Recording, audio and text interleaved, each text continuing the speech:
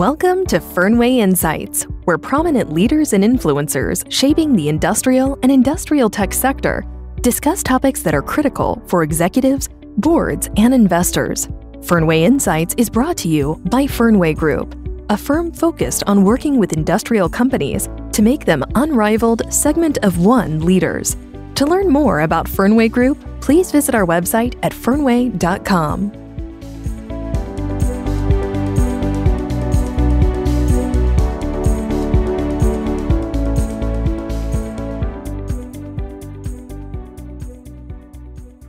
Hi, welcome to another episode of Fernweh Insights.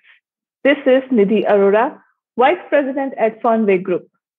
Today, we're going to talk about value creation and transformation in industrial sector with Victor Mendelson. Mr. Mendelson is co-president of HEICO Corporation, a role that he has played since 2009. He is also the president and chief executive officer of HEICO Electronic Technologies Corporation, which is one of the two principal operating subsidiaries of HEICO Corporation. Together with his brother and father, Mr. Mendelson took over the management reins at HEICO in 1990. Since then, HEICO Corporation has been one of the best performing stocks with over 20% plus compounded returns annually. The company has also grown its operating cash flow at 20% plus every year since 1990. Due to its successes over the past decade, Forbes magazine has ranked HEICO as one of the 100 world's most innovative growth companies, 100 best small companies, 200 hotshot stocks, and 100 most trustworthy companies in America. Mr. Mendelson received his AB degree from Columbia College of Columbia University in New York and his JD degree from the University of Miami School of Law. And with that, I welcome Victor to our podcast. With Victor, welcome. Delighted to have you here today and looking forward to our convers- conversation about HEICO and your journey. Well, thank you very much. And I am delighted to be here today with you. And I thank you for your interest in our company. Awesome. So, Victor, I have already mentioned about HEICO's successes, and we would go there. But before that, tell us a bit about the company and what it does.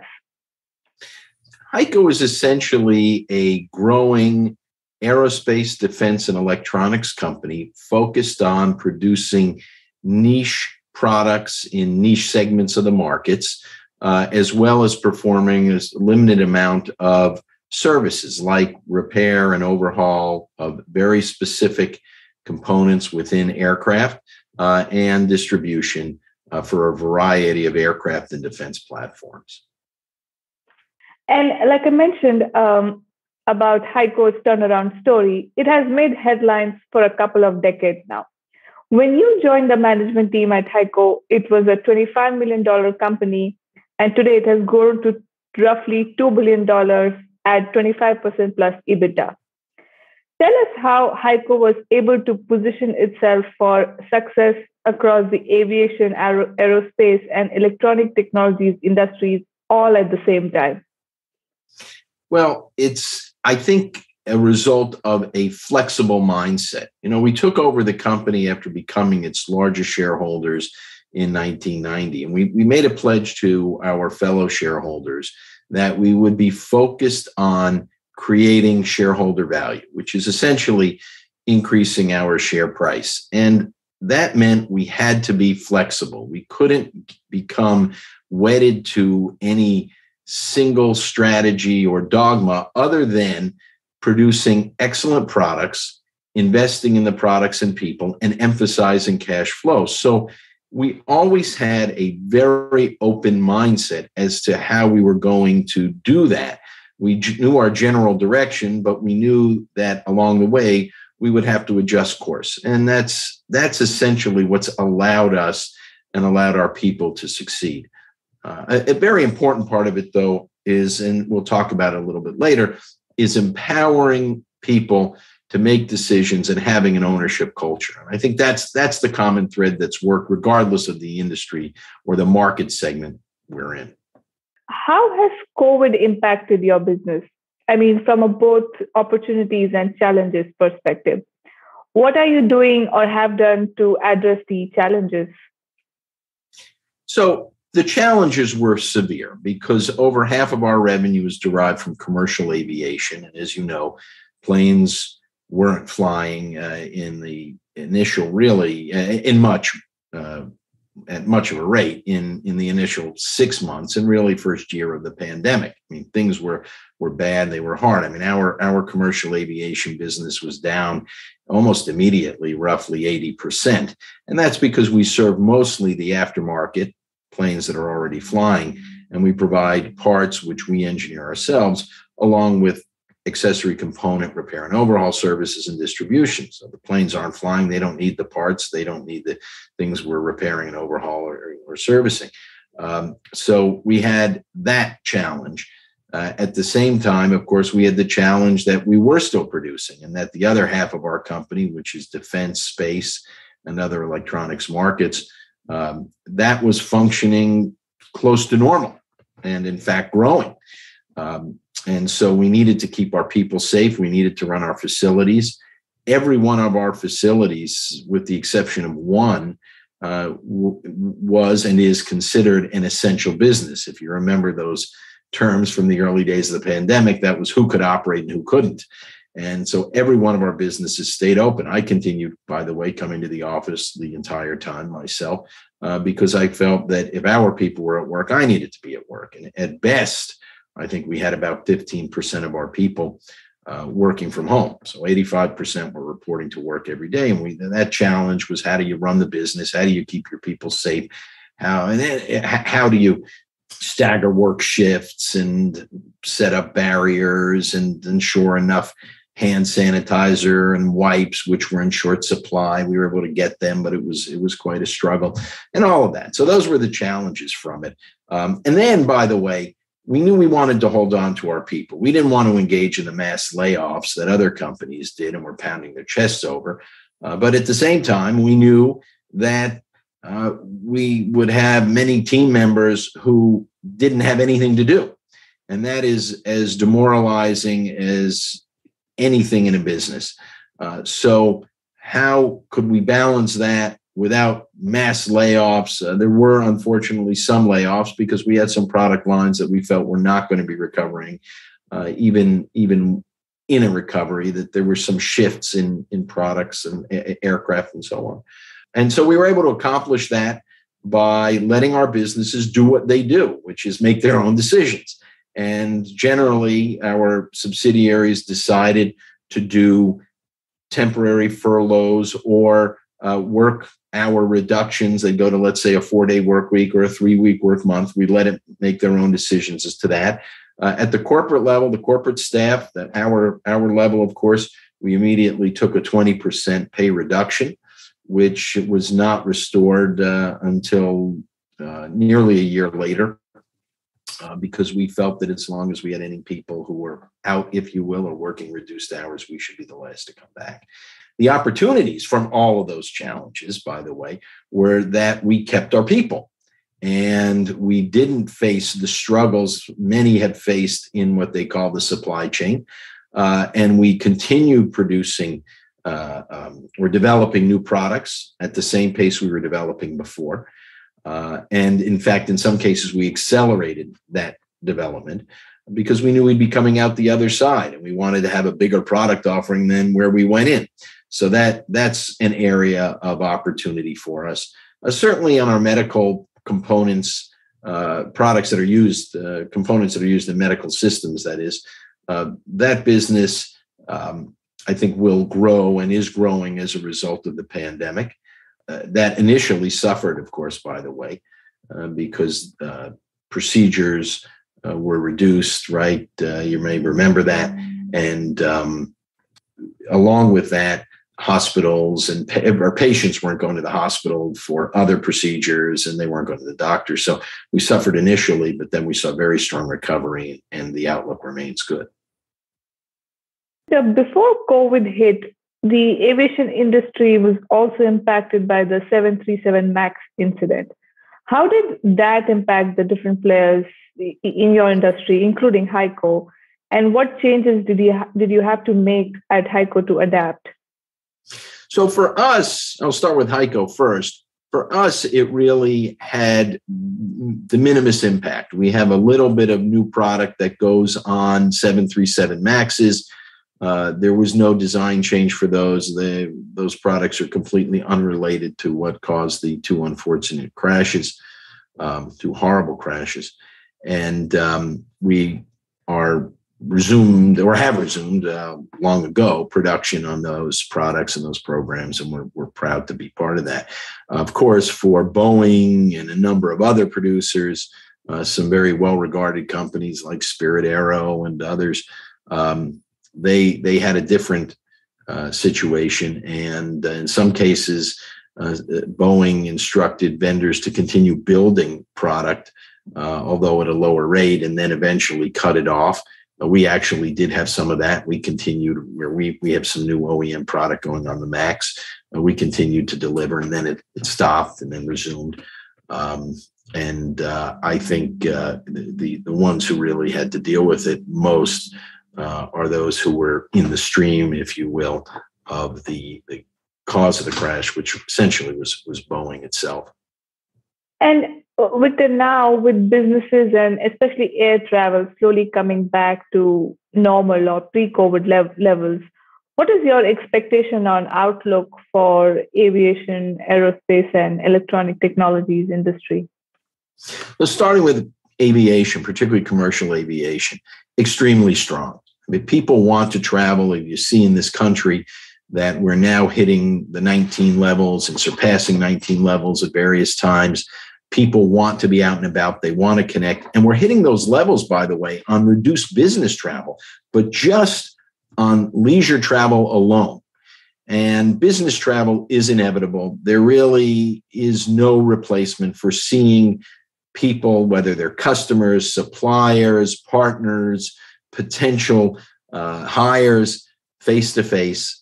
And you've got to get out on the road and, and make that happen. And people are chomping at the bit to do it. You can really see that. So I'm very optimistic about the future of aviation. Some people say, well, uh, won't there be reduced business travel because we'll be doing things like this, right? We won't do these in person, we'll do them on Zoom, and there'll be certain meetings that'll be on Zoom. And I think that's right. There will be a certain percent of meetings that will now be held on on uh, on a computer screen like we're doing now but the level of overall business activity will increase will continue to increase and grow dramatically and that means more people traveling number 1 and i believe ultimately more per capita travel because although people may drop off a, a couple zoom meetings here and there a couple telephone calls here and there with the increased level of business travel, they're going to have to travel more and uh, individually. We see it now. Uh, I can tell you that when we have certain people who call on us, when they hear their competitor has called on us, they're on the next flight down. And that's how business works. So, very optimistic about that. About defense, uh, I'm also optimistic about our defense businesses long term. The world is not going to be a safer place, unfortunately, and that's just a sad reality. Free people, like we are in this country, need to defend ourselves, and we need to help our allies defend themselves. Uh, the things that we do at HEICO generally focus on higher technology defense products and systems, things like um, electronic warfare, uh, detection, threat detection, reconnaissance, surveillance, um, and uh, standoff warfare, uh, as opposed to, let's say, the operations tempo, the proverbial boots on the ground. Um, and we think that that will continue to be important as we see some of these major nation state threats, uh, in addition to the terrorist threats that we were dealing with uh, not long ago. And then in space, uh, space is a growing market, growing business. You see it all the time. New new products, launches, satellites, um, Earth sensing spacecraft as well. So that's a nice growing business for us. And electronics, of course, uh, there's just more of this that we need. And uh, when I say we, the society needs broadly, and, and the pandemic showed that. Uh, so, very optimistic for our underlying markets individually. All right. So, now let's switch gears to talk about your journey. Let us go back to the early 1990s. At that time, you were at law school, juggling assignments and getting ready for a major role at HEICO. What was your mindset back then? How were you thinking about what was next next in store for you in your career? Yeah, I, would love to go back to 1990. I'd be much younger if I did that in the early 90s. Uh, unfortunately, I don't think I'll be doing that. Uh, so we had just been through a very difficult battle to get control or start running the company. And we'd actually had a proxy fight my senior year in college, uh, which we we lost, and um, we had to sue the company. And so my first year in law school, we had a trial, and the company settled, and, and we took over managing the business. And so the mindset at that point was uh, one kind of a war footing, if you will. Uh, we had just been through a long battle, and then a major company, United Technologies, sued HEICO for uh, an injunction to stop it from making what was its only part at the time, and uh, $100 million, which was four times our market capitalization. Uh, so we were we were focused on fighting that and then figuring out how do we grow this business uh, because we knew we had an interesting company, but um, it had really been let's say undermanaged or poorly managed and that was the mindset was let's just get to the next day. Let's fight on and do something good with this business. We weren't sure exactly how it would pan out to be honest with you but we knew it would be something good. And you and your family had this dream of taking over a troubled public company and turning it around. The level of successes you've achieved at HEICO, it's a case study for a lot of entrepreneurs and investors right? What attracted you towards HEICO and making it the company you wanted to transform? Yeah, our and our goal was really to get control of an industrial company and build it. It wasn't, I'll be honest, necessarily to get a troubled one. And, and HEICO was more troubled than we realized or knew from the outside. What attracted us to the business in the first place was that there, there were a couple of things actually. And I, I was the one who actually found it as an investment for uh, for us. And I'll be honest with you, for a while, I wasn't feeling too good about it because by the time we got control of the company, we had a 30% or so loss on that investment, which stayed in the loss column for a few years until things started to go our way. Um, but uh, what it, what was attractive was a few things. Um, one, it had a unique product uh, in a niche segment of a market and they really essentially only had one of these products. And it was a very important jet engine part in the most prolific jet engine in service at the time. And we thought, well, gee, you know, if they have this one part, why can't they make more? So there was an optimism. To be honest with you, and I know how difficult it was. It took us years to make that next part and to get the next part approved. I might have we might have been scared off, but that was that was very important to us. We thought that there was a nice horizon for the business. And um, it was a high margin business. So we felt that um, provided uh, or indicated some unique characteristics. And uh, of course, the financial characteristics of high margins are, are, are really very helpful to any business. Second, they had no debt and that was very important because it allowed it would allow us to do what we needed to do without this overhang of debt and third uh, they had a decent cash position which was helpful. And, and fourth, they had a line of business making laboratory products and lab equipment that we felt uh, should and could be sold, which we did immediately after taking over the company. So it was all these things. You put them together, uh, it just seemed like an interesting business. And then there was an, another factor that that I think, although we've never focused on it ourselves, another factor that was important was it was local it was here. We lived in South Florida, and the company was, let's say, about 45 minutes, 50 minutes from our house. And so it was something that we could dive into uh, fairly easily. And I don't know if we've ever acknowledged that to ourselves, but I think it, it did play a role, and it, it played a role in what we were able to to get done. And at HEICO, Victor, you have closed about 88 acquisitions since you joined the company. And I believe you've been very closely involved in all of those deals while also leveraging your legal background. Talk us through some of the main challenges you've faced while navigating those deals. Yeah, and in fact, I was the company's general counsel uh, for the first uh, 18 years or so that we took over, uh, that we were running the company. Well, after I got all those, I guess it was more like 16 years or 15 years. But in any event, it was my responsibility to get the deals closed. Uh, it, that didn't mean I found the acquisitions, uh, and it didn't mean I even negotiated them, um, although there were a number that that I did. Uh, but I had that responsibility, and there was the first 38 acquisitions. Uh, less so, by the way, today. I mean, we have a, an excellent legal staff uh, uh, here that gets the deals, the acquisitions closed, and I, I'm I'm more like a bystander these days uh, when it comes to actually getting the deals done. And uh, it's better because they understand the law and the mechanics much better than I do. Um, I can only ruin it. But um, in any event, uh, the challenges were were many. Um, one challenge, of course, is is convincing a seller to sell their company in the early days. Right, we were this small business that I mentioned. We had this this lawsuit that was outstanding. Uh, we had a great balance sheet, um, but we were in the early days of our growth story. Um, and so, if you're an owner of a business, uh, why pick HEICO? I mean, a lot of a lot of other buyers are out there knocking on your door, and so that was a challenge to convince people we were the right buyer. That ceased to be the case after a few years because people saw we are a great home for an entrepreneur, founder, manager to to give uh, to provide for his or her business.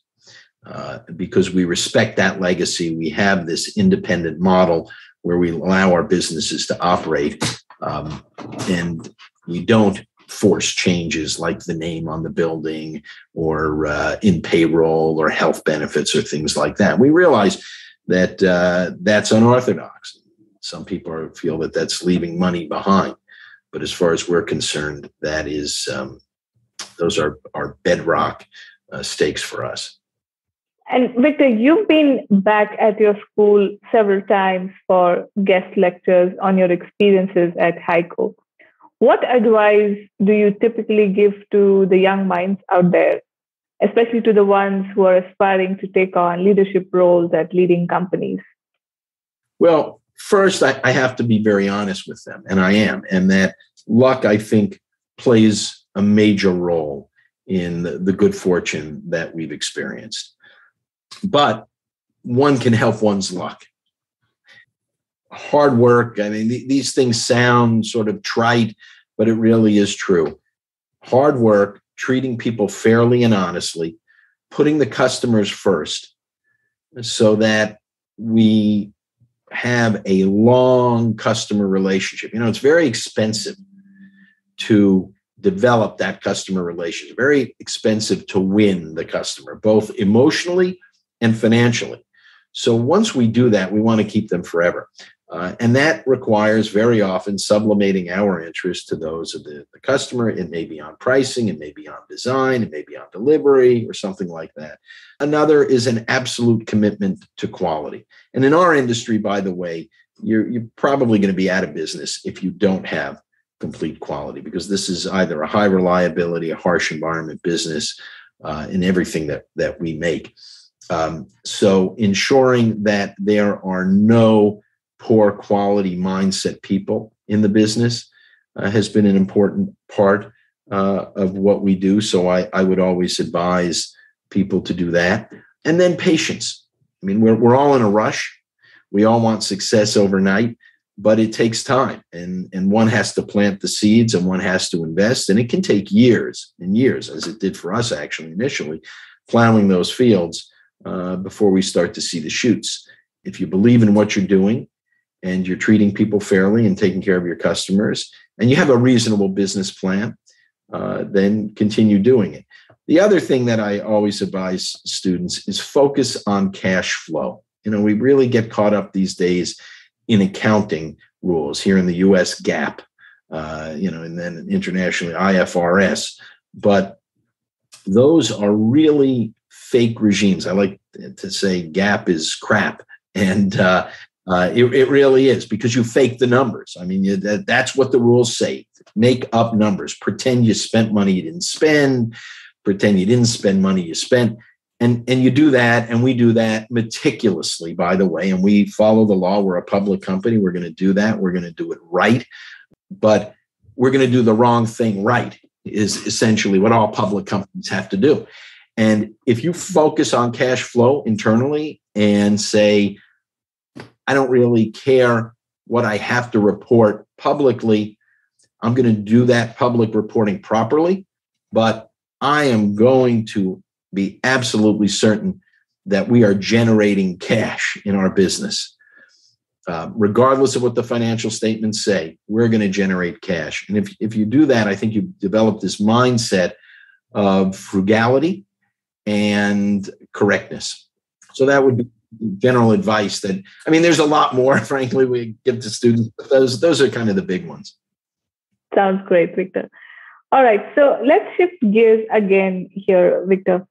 So at Fernweh, we continue to see that a lot of small to mid cap companies struggle with driving growth and profitability in a sustainable way. What would be your advice to such companies based on your experience at HEICO? I mean, what works and what does not? Well, and, and I can only speak for our experience. And again, saying that we've been very fortunate. We really have, uh, I, I, I don't underestimate the role good fortune plays in our lives.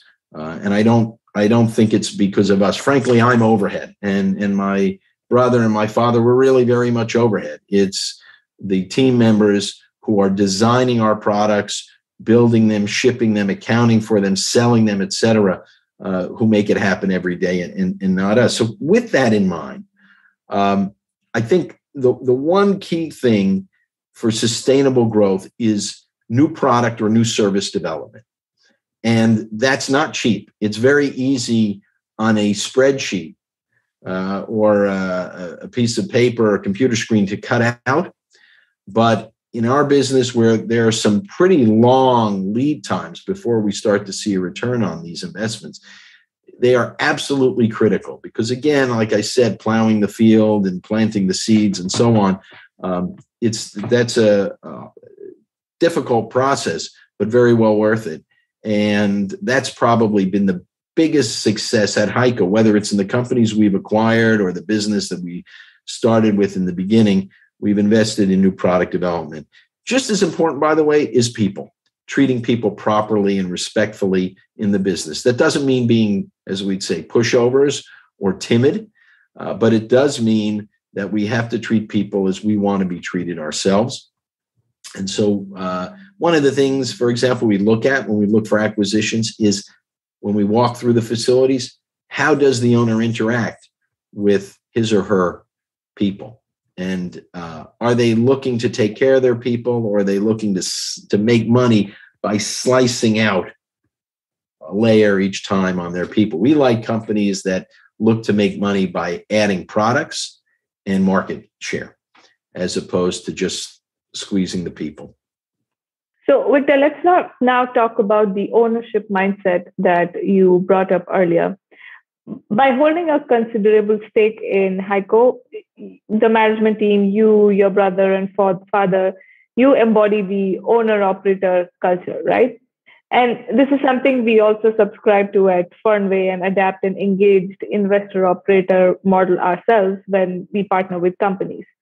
Tell us how do you trickle that culture down into the organization? It's it's really somewhat easy for us I mean, there, there are some things that we do that are important, right? In the ownership culture, we have an excellent 401k plan that that uh, um, basically matches team members' contributions and then puts a bonus on top of that. And um, we've created uh, a number, uh, literally hundreds of millionaires through our 401k plan, and that that uh, those matching amounts and the contributions that the company make are in company stock. So almost every HEICO team member, or at least in the U.S., is an owner of the company. So that that's out there as part of it. But the, the key to it, and the reason I say it's it's fairly easy, is we've acquired smaller entrepreneurial businesses from those founder owner managers and we've allowed them to continue what they were doing before so as opposed to being an employee number 5722 at some big company the team members are one of typically on average about 75 or 80 people at a subsidiary in a facility that team member is valued and known. Uh, their opinions are important. They are close to the product, they're close to the customer. The president of the business who sold us the company and in many instances still owns 20% or even more is watching everything, right? They still have that ownership mentality. It's that small business ownership mentality that's shared across the enterprise. And they feel it. If a shipment is late, if it doesn't go out, if there's an issue of any sort, everybody feels badly because they're letting someone else down in a small organization. And there's nowhere to hide, right? There aren't many people. President comes in in the morning, and if he or she doesn't see, you name it, working, they're going to ask why right? You bump into each other in the break room, the parking lot, and so on. And that's that's why it's been fairly easy for us because we are a conglomeration of these companies with that mentality, and we have the same mentality ourselves. When we took over the company, as I, as you know, it was a very small business, and and uh, our family we came out of small business ourselves.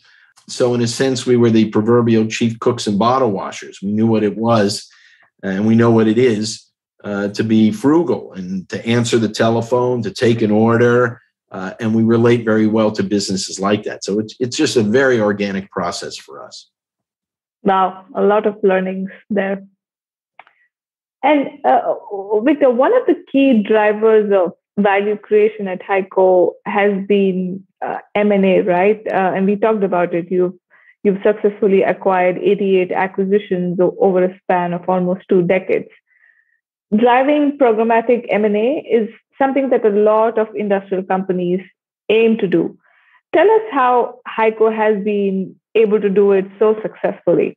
I think the key to it has been an open mindedness that we have. It goes back to, as I said to you, uh, committing to enhance shareholder value and to doing it sensibly.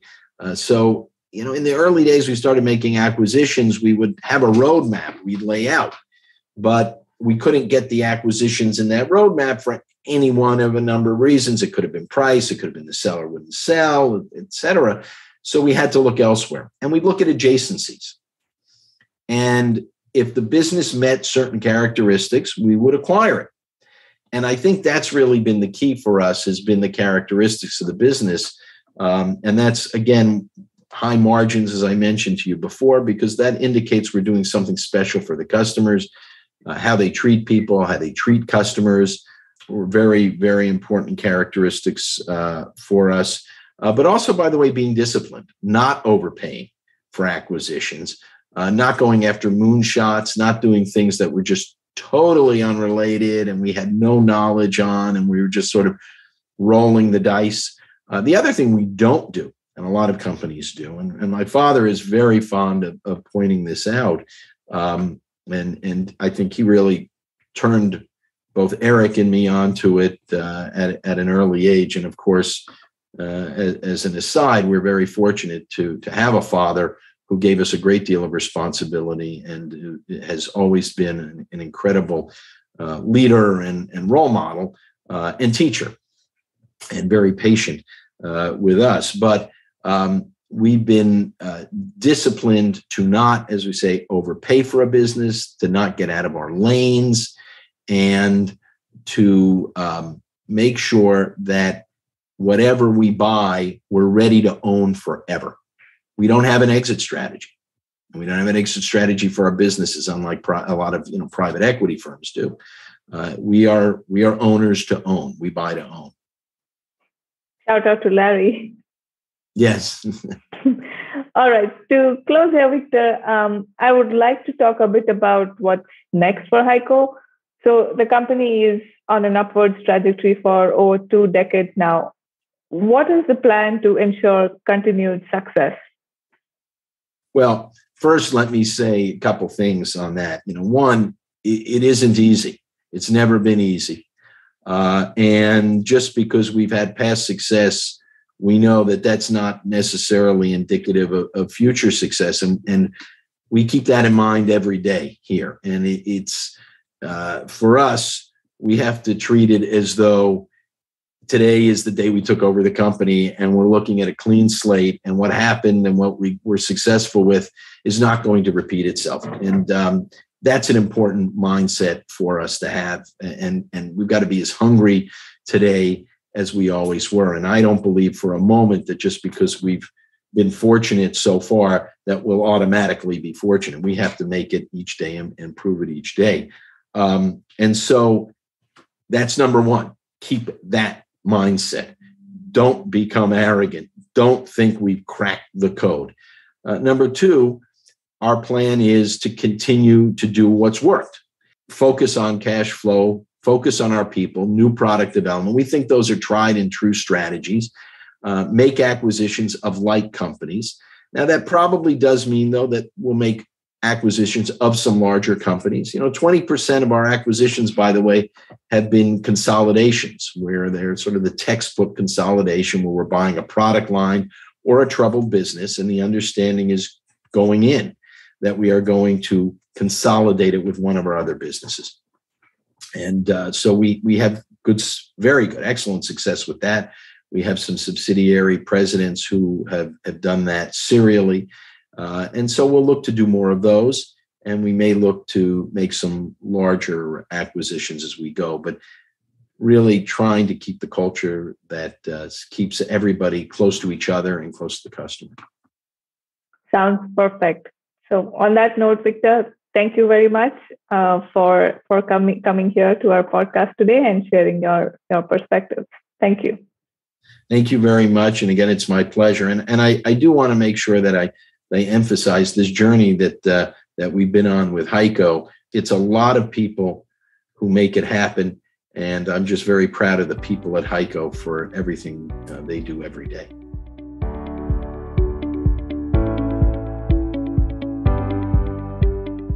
Thanks for listening to Fernweh Insights. Please visit fernweh.com for more podcasts, publications, and events on developments shaping the industrial and industrial tech sector.